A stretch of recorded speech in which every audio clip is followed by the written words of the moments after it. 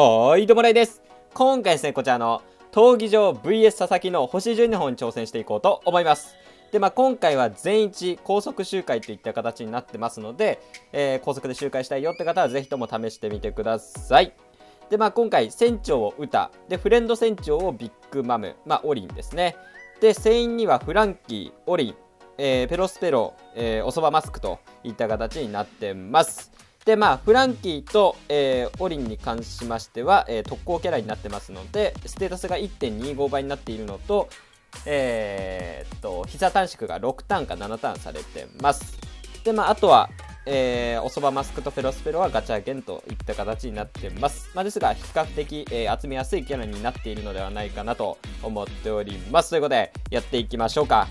えー、まあ、全一で攻略していきましょう。まあ火力が出ないキャラフランキーとおそばマスクですのでそこは気をつけてください。まあこんな感じでやっていきますか。よいしょ。なので最後に、えー、フランキーとかを持ってくるといいのかなと。よし。で、えー、第2バトルの方ではこんな感じですかね、えー、倒していきましょう。まあ最後フランキー、えー、とかにしておけば、え火力的には出てくれて全一でいけるかなと。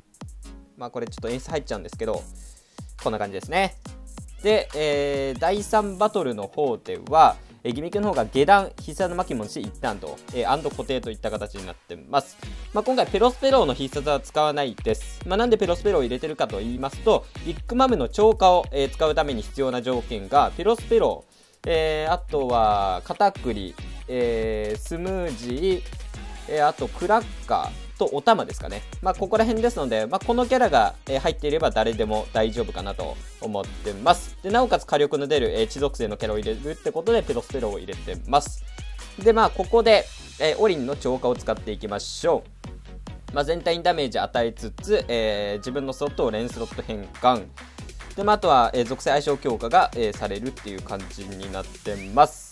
まあ、雑魚キャラで倒して、えー、オリンで最後倒せば問題ないかなと思ってます。えー、どうしますかね。まあ、ここら辺からいきますか。よいしょ。よいしょ。まあ、こんな感じで減らしていきましょう。まあ、歌でも全然火力出てくれますね。で、まあ、第4バトルの方では、お邪魔スロット変換、割合ダメージ99%、えー、上段、えー、必殺弾巻き戻しが5ターン、で、ダメージ軽減5ターン、えー、攻撃力弾が5ターンという感じになってます。で、まあ、ここで、えー、まず、えー、歌の必殺を使いまして、攻撃上昇とスロット影響上昇をしていきます。で、超過を使うことで、えー、次のターンのエンハンスの、えー、プラス値がアップしますよと。で、まあ、あと回復、うん、まあ、オリン、あ、オリンじゃない、あの、ブラックマリアの方が、まあ、先ほどね、えー、次のターン回復しないとまずいですよっていう警告を受けましたので、えー、っと、歌の方で回復してます。で、まあ、ここでお邪魔スロットになっていますので、こちら、オリンの必殺を使いまして、まあ、3ターンの間、基礎攻撃力アップと、まあ、あとは、えー、熱傷状態中と、えー、しびれ中に与えるダメージがアップで熱傷状態になってます。まあ、しびれにもなってますかね。であとは全体をレーンスロット変換してます。でまあおそばマスクの必殺ターンが溜まっている理由なんですけど、えー、自分以外が必殺を使うことで必殺短縮4ターンだったかなしてくれますので必殺がどんどん溜まっていったっていう形になってますでまあフランキー最後使いましてえー、スロット固定、そして、えー、ダメージ軽減を5ターン解除していきます。で、攻撃力ダウンも解除してます。まあ、あとはタップで削っていけば問題ないかなと思ってます。まあ、どうしますかね。ここら辺でいきますか。まあ、一番火力出るのがペロスペローとウタといった形になってますので、最後をその2人にしておけば、問題なく火力は出てくれるかなと思ってます。まあ、タップミスさえなければ全然火力は出てくれるかなと。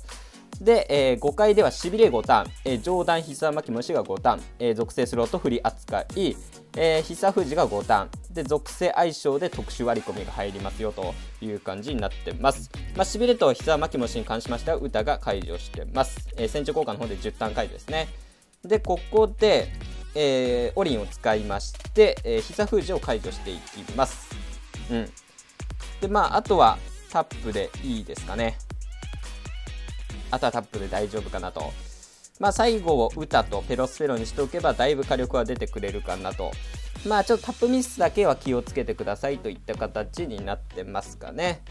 でまあ先ほどレンスロットを固定していた状態で来ましたので、えー、レンスロットで大丈夫ですよといった形になってますタップしていきましょういしょミスさえなければいけるはずですかね火力はめちゃめちゃ火力出てくれる。まあ、こんな感じで、え、火力は全然出てくれると思いますね。歌残して全然火力足りているので、まあ、問題ないかなと思ってます。で、えー、最後、お邪魔スロット変換。激味でお邪魔スロット変換と非ダメージ上昇が99ターン。で、体力回復といった形になってます。まあ、最後におそばマスク使いまして、お邪魔スロットをレンスロットに変換させて、まあ、あとは先ほどと同じ通りにタップしていけば問題ないかなとまあ、火力的には先ほどと似た感じでだいぶ火力は出てくれると思いますので心配せずとも倒していけるかなと思ってます。まあ、こんな感じで、えー、全一で周回していこうかなと思ってます。まあ、ということで続いて2パターン目いきましょう。はい、ということで続いてはこちらの編成でやっていきましょう。まあ、こちらなんですが、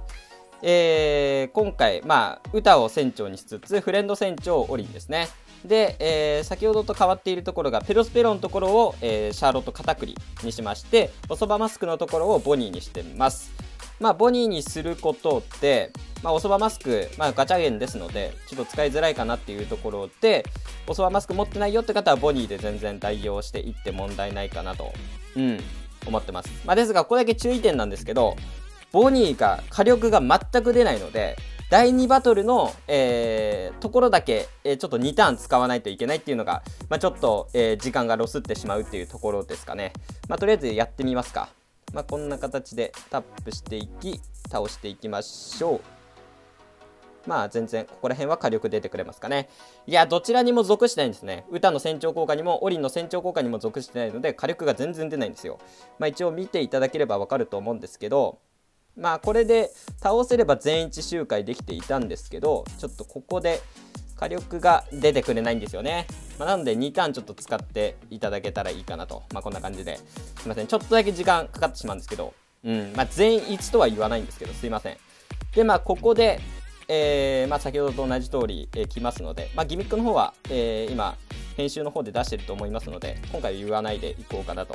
まあ、ここで、えまず、えオリンの超過を使いまして、属性相性強化しつつ、え、ダメージを与えているという感じですかね。まあ、あとは、え、先ほどと似た感じでタップしていけば問題ないかなと思ってます。いきましょう。よいしょ。まあ、火力的にはちゃんと出てくれるかなと。うん。片栗の方も結構火力出てくれますので、まあ、問題なくいけるかなとで、第4バトルの方では、えー、ブラックマリア、えー、が来ますよと。で、まあ先ほど見てなかったんですけど、ここでね、えー、回復しないとまずいですよっていう、回復してから次に進まないとひどい目に遭うよっていう、えことを指摘されてますので、多分回復しないと何かしらのギミックが発動されるのではないかなと思ってますかね。で、まあここで、えー、っとですね、うーんと、お邪魔スロットになっているので、まずはこちらで歌の必殺技使いまして、まあ、さっきと同じ流れですかね。流れ的には変わらないかなと。で、まあ、超過使いまして、次のターンのエンハンス上げ。で、えー、ビッグマム使いまして、お邪魔スロットをレンスロット変換。っていう感じですかね。まあ、あと熱傷状態中に与えるダメージ上昇と熱傷状態にしつつ、まあ、しびれにもしつつって感じですかね。でまあここで、えー、フランキー使いましてレンスロットを、えー、一旦固定させつつ、えー、ダメージ軽減とえっと何でしたっけ？あ攻撃力ダウンを解除したっていう形になってます。まああとは先ほどと同じ通りタップしていけば問題ないですかね。うん行きましょう。よいしょ。火力的にはちゃんと出てくれるかなと。だいぶ出てくれますね。ま、ですが、ペロスペロ、多分、おそばマスクがいないからかな。あの、あれは出ないんですよね。あの、超連携は発動されてないっていう感じになってますかね。多分、おそばマスクがいないからかなと。うん。まあ、ボニーになっているから発動されないっていう感じですかね。で、まあ、しびれ解除、えー、膝負け戻しも解除と、歌の船長効果で解除されています。で、スロット影響と、えー、攻撃上昇が上昇。で、オリンを使いまして、え必殺技封じを解除していきます。うん。で、まあ、レンスロットになっている形ですかね。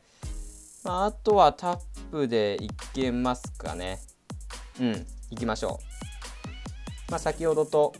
同じ感じでタップしていけばしっかり火力もあやばいかこれ大丈夫かなあ危ない危ない危ないって思っていたんですけどちょっと前回のえ動画を見ていただいたら分かると思うんですけど自分でちょっとえ話しているんですけど非船長フレンド船長なのかなやっぱり。フレンド船長の上段があのー、最後にタップするとレンスロットが属性スロットに変換されてしまうんですよ。あれ何だったんですかね？ちょっと何の効果かギミックなのか分かっていないんですけど今ねあの普通の船長の方をタップした感じ変わらなかったので、まあ、何が違うのかなという感じではあるんですけどもしかすると、えー、上段左の船長のえー、を最後にタップすると、えー、っと、属性スロットになってしまうっていうギミックだったのかな。もしくは、えー、前回編成していたキャラが、ちょっと、えー、なんかの繊維効果が発動されて、そういう感じになっていたのか。まあそこら辺はちょっとわからないんですけど、多分、えー、そんな感じの、あれだったのかなと思ってます。うん、すいません。ちょっと自分もよくわかんなかったですね。まあ今、見た感じ全然大丈夫そうでしたんで、ちょっとやばいなっていう、もう一回取り直しかと思ったんですけど、全然大丈夫でしたね。で、まあ、お邪魔スロットになっているので、こちらのボニー使いまして、お邪魔スロット、えー、肉スロット変換。で、ボニーのせんあの繊維効果の方で、えー、肉スロットは有利扱いになってますので大丈夫です。うん。まあ、ボニーがね、もう久短縮があと2ターンで溜まるような、えー、タンスになっていたので、うん、しっかり溜まっているっていう形になってます。まあ、他にも代用できそうなキャラはいるのかなと思うんですけど、とりあえずボニーが適切だったかなと。おそばマスク以外であればボニーがいいのかなと。まあ、あとは先ほどと同じ通りタップしていけば、しっかり火力出てくれるかなと。まあ、タップミスさえなければですが、大丈夫ですかね。全然火力出てくれますね。まあ、という感じで、え、全然攻略できるかなと思ってますので、ぜひとも試していただきたいなと。うん。まあ、でもこの編成の、まあ、嫌なところっていうのが、えー、フレンド船長をちょっとビッグマムにしないといけないっていうところが、まあね、フレンドにそういうキャラがいない方であればちょっと編成しづらいとは思うんですけど、まあ、全員で周回できるのとりあえずこの編成が一番楽かなと、うん、周回しやすいかなと思ってますので、まあ、ぜひともね、えー、フレンドに、えー、ビッグマムいますよって方は、えー、試していただけたらいいなと。まあ、逆に、えビッグマムと、え歌逆にしてもいいので、まあ、ビッグマム持ってる方であれば全然歌はフレンド船長でいると思いますので、まあ、そういう感じでしていただければ問題ないかなと思っております。まあ、ということで今回この辺で終わりたいと思います。ご視聴ありがとうございました。参考になっている方はチャンネル登録、高評価よろしくお願いします。